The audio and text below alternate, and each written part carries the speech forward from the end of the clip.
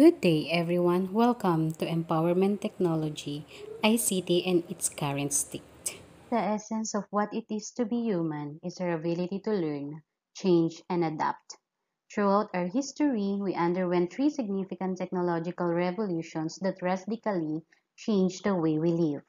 From mastering the use of steam in machines and contraption to create more than what we immediately need mastering electricity itself, bringing daylight in night, and transcending radically our ability in storing and processing data. As a learner, you are about to face a new technological revolution, one that has massive information storage, transmission, and analysis at its core. Confronting this new challenge requires you to have a good fundamental knowledge of information and communication technology. At the end of this lesson, we will going to first identify what is ICT. Second, explain and give how ICT affects their everyday lives and its current state. Before we proceed to our discussion, I have here a Venn diagram. I want you to analyze how each one is similar to other. Kindly use the raise hand button if you want to recite. To formally start our discussion, anyone can answer this question. Using your own word, what is ICT? Just use the raise hand button if you want to recite.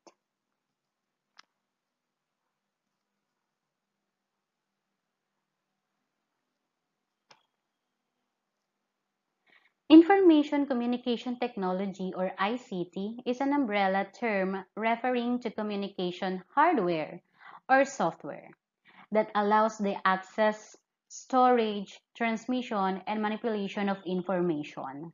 In terms of hardware, ICT specifically encompasses radio, television, communication devices such as smart and non-smartphones, desktops computers, laptops, and network hardware and technologies.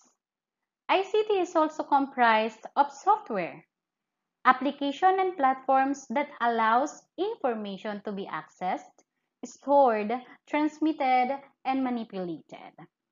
ICT is used across by mainly industries and disciplines in some. It is a crucial element for them. ICT is now a part of many people's lives, for better or for worse. Ultimately, this technology depends on your behavior as an end user. Thus, learning how the use of ICT properly and responsibly is a must. The current state of ICT. ICT is following certain trends as it is developing in this time and age. This trend dictates the idea and design of how ICT delivers information to people. The following are emerging technologies principles or concepts in ICT. First, we have convergent technologies. This is when multiple different devices combine into a single gadget because of technological advancement. One example of this is a smartphone, where it is capable of doing the function of a television, radio, computer, telephone, camera, and GPS as a single device. Next, social media. These are software, applications, or platforms that allows users to communicate in one online social communities or network. Social media allows people to communicate faster through a larger number of people. Third, the mobile technologies. This is a term for devices that are easily carried and allows fast means of communications. These devices from the past were originally big and bulk, but due to the technological advancement, they became smaller and more compact.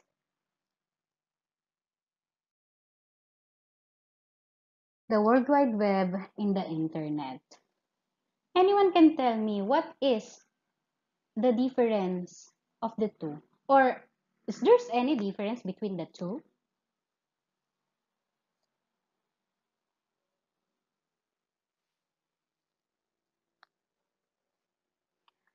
People colloquially refer the World Wide Web, for Web for short, as the Internet or vice versa, but there are key differences between the two. The Internet, by definition, is the actual interconnection of computers and other networks while the web refers to the system that enables people to access information over the internet. The internet is the hardware aspect because it relates to computer networks, connections, and infrastructures.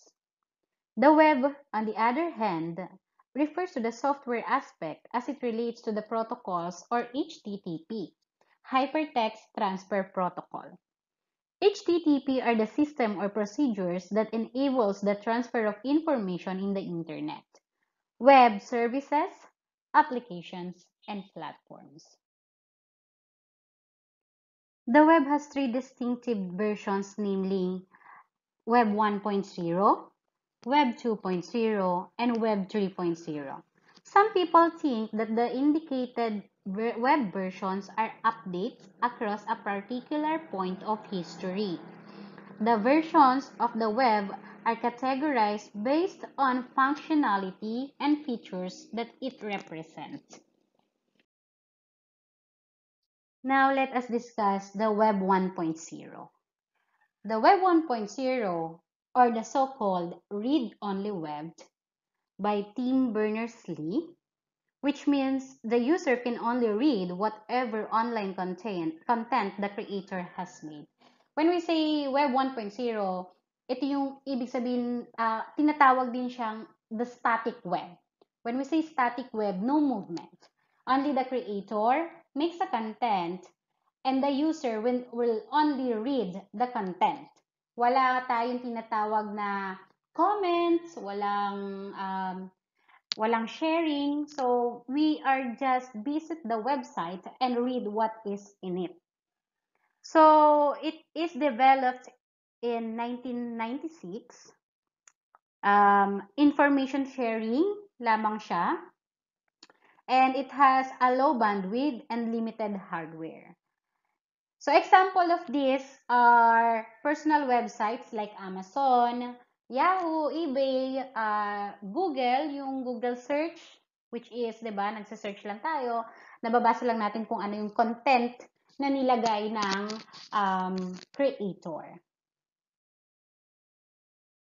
From Web 1.0, the read-only web, um, Tim O'Reilly invented the Web 2.0,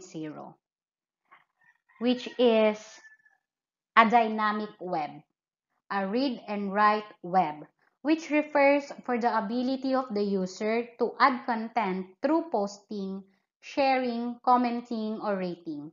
Web 2.0 allows interaction not only in between the user and the creator, but also the other users. Example are sites like Facebook, YouTube, Twitter, and Reddit, and also Flickr and Wikipedia. Kung saan uh, everyone can contribute. Nakakapag-contribute na tayo. It was developed last 2006. Uh, it has interaction, high bandwidth, and cheap computing. So, in this Web 2.0, we can contribute we can read, we can write, we can post, we can share uh, content. So, yun po yung um, pagkakaiba niya sa Web 1.0 na si Web 1.0, we can only read what is written dun sa website. Si Web 2.0, pwede na tayong mag-comments, di ba? Pwede na tayong mag-share also, and like. Web 3.0 is a concept of how the web will evolve.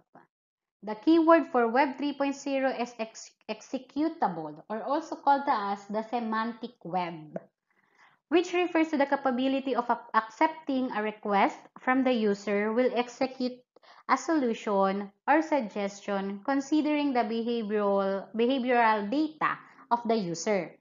For example, in the diagram, the user would request a suggestion for a restaurant in his phone based on the current time, previous preference of restaurants of the user, and seat availability from various restaurant reservation apps in the internet, the user's device will suggest result from. If requested, it will also reserve a table for the user. Web 3.0 is not yet fully realized and is still developing.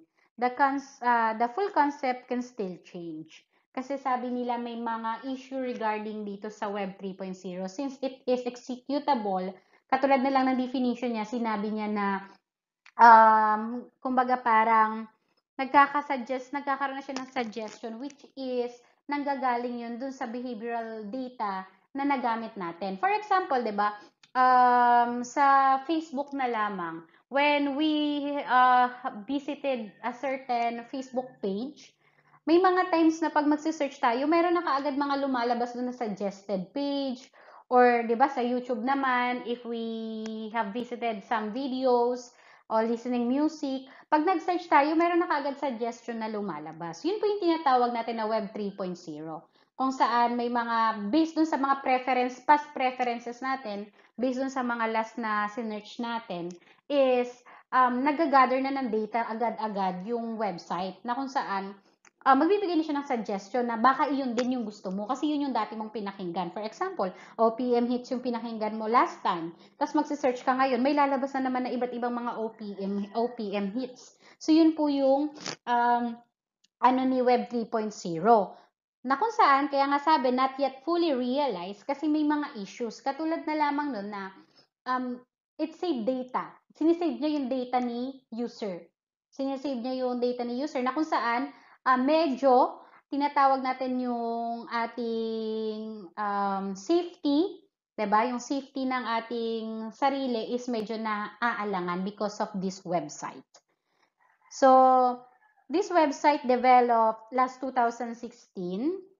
Uh, micro network siya and cloud computing. Kaya nga um, naging ano siya eh, kumbaga parang nagkaroon na siya ng preferences na si save niya kasi cloud computing na siya. So lahat lahat ng ating mga ginagawa um, in the internet or sa mga website na binivisits natin, binivisit natin, ay nasisave niya. Nasisave niya yung mga data na ginagawa natin. Nasisave niya.